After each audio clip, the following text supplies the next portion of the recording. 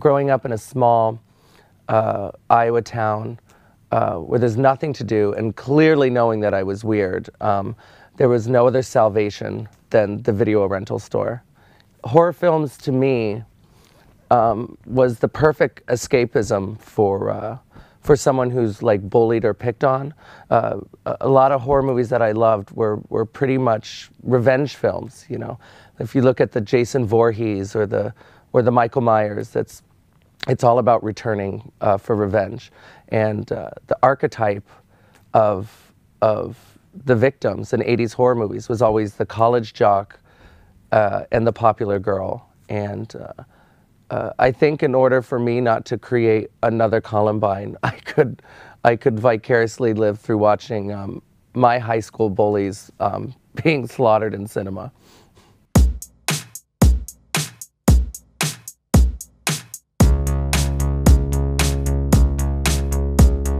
My favorite slasher film of all time is Sleepaway Camp Part 2.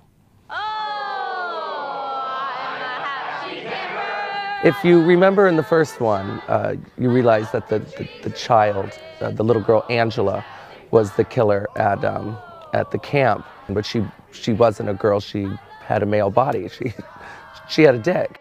You find out that Angela had uh, been staying in a mental health ward and was granted her sexual reassignment surgery and uh, returns to the camp as a counselor and takes her revenge yet again, one by one, by all those bratty little campers. They all deserved it.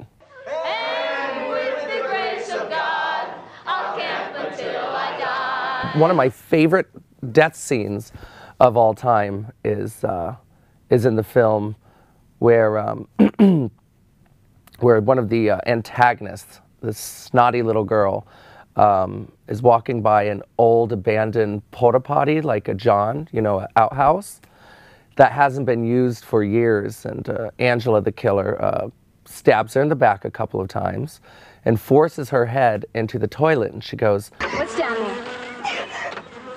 Answer me. Shit. That's right. One of your favorite words. Well, if you mind if I borrow it for a moment?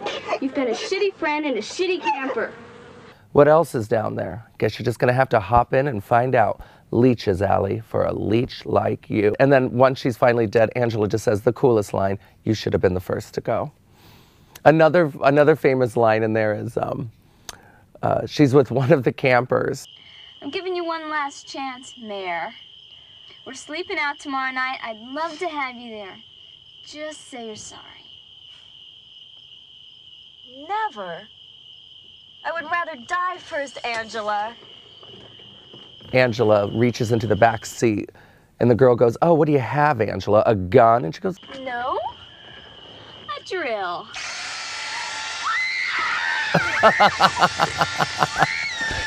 That's just good writing. It puts transgendered people into a negative uh, light, but they definitely had power in cinema, and that horror was the only genre you saw them in.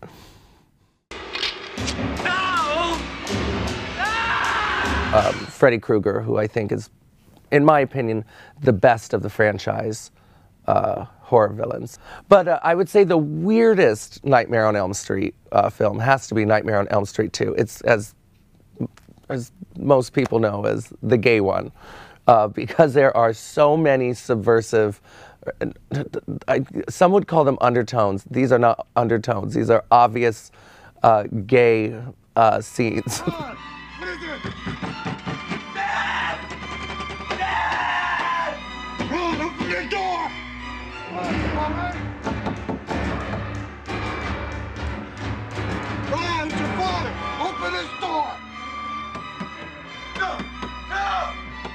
Very strange. It's like very uh, Tom of Finland. There's a lot of leather. There's a lot of shower scenes.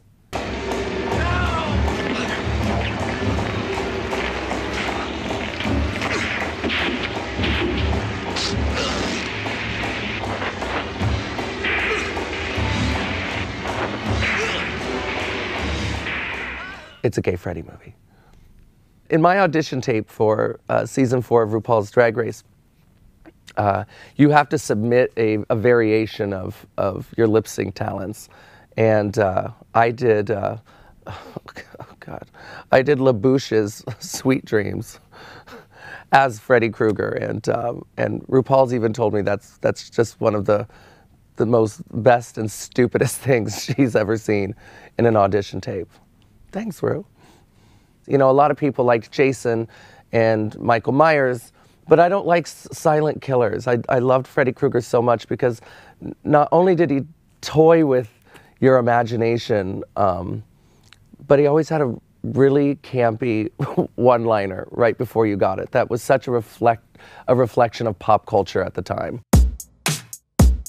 My favorite zombie movie of all time is, um, and I think anyone who loves uh, the zombie genre probably agrees that Return of the Living Dead is the best zombie movie of all time, undisputed.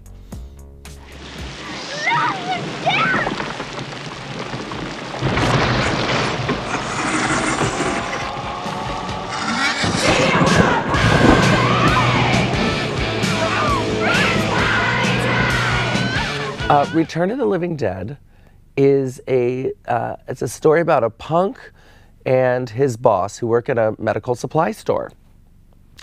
And this medical supply store has uh, several strange things: split dogs, live cadavers, um, and uh, his, uh, his boss asks Freddy, "Would you like to see the strangest thing in here?"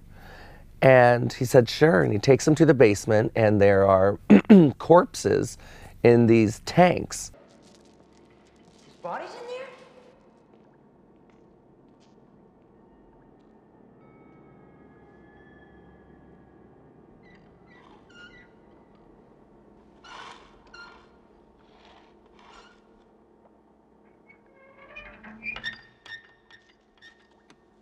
Oh shit! Look at that! You say that thing was alive? So they say.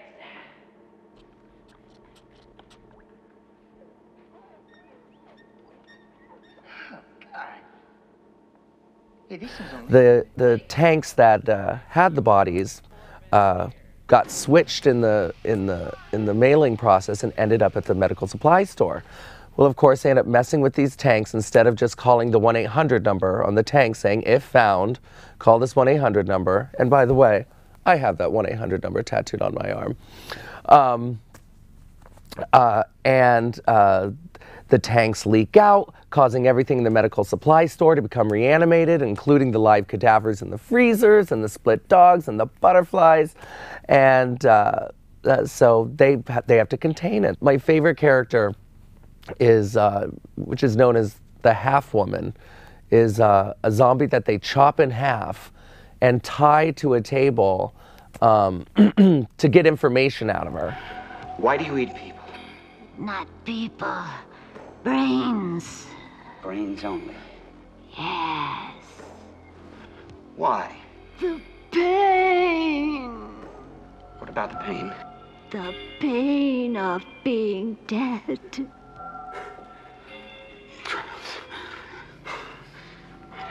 Hurts to be dead.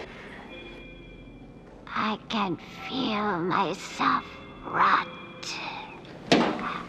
Eating brains. How does that make you feel? They said, but why the brains? And she goes, because it makes the pain go away. It's gorgeous and terrifying. It makes the pain go away. When I was a kid, I thought zombie movies were the most terrifying.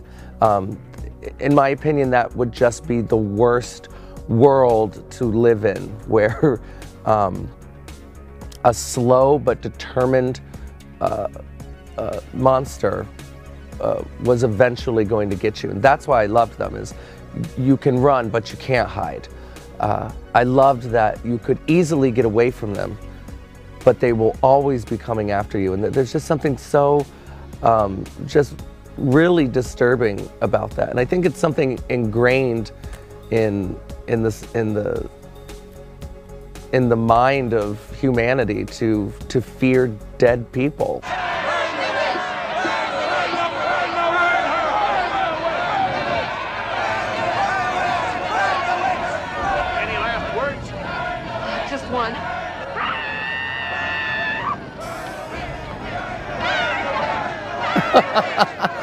Elvira, Elvira, uh, Elvira.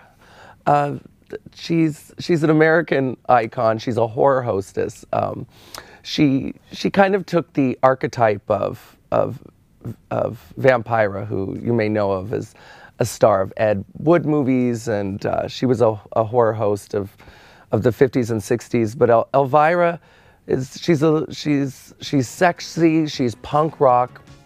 Um, she she loves the macabre, but most importantly is she's uh, she's two things that I, I think are very important, at least uh, for my aesthetic, and that's she's funny and also approachable.